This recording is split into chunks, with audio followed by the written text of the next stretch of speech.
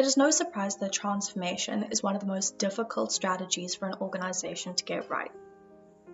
Transformation means change, and for most people, change means uncertainty, fear of the unknown, and being forced to learn new ways of doing things. Quite simply, they are no longer in their comfort zone. And when people feel uncomfortable, they often don't perform at their best. I have learned that transformation is not just a technical exercise, but the engagement of the hearts and minds of the people impacted. As change often elicits an emotional response, so the communication of the transformation program must, at some level, resonate emotionally. For transformation to be truly successful, it can't be approached as a one size fits all. Different groups and segments within an organization and their specific needs, beliefs, and styles must be considered prior to the start of any transformation project.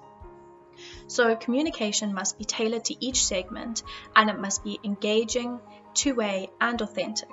For example, COVID has driven many people into steep digital transformation simply to be able to connect with colleagues and clients. One day they met in a physical office or conference room, and the next they were expected to operate online across a number of digital platforms, such as Teams and Zoom. For some, the transition was quick and simple, but for others, it was difficult.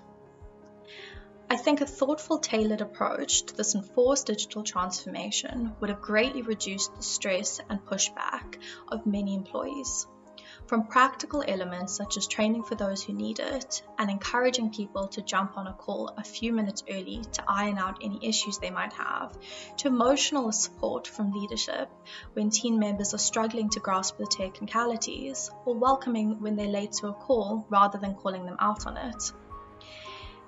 There's often a misapprehension that the ultimate delivery of the transformation project is the primary goal, when in fact, I believe it is the journey of reaching that goal that determines the success of its delivery.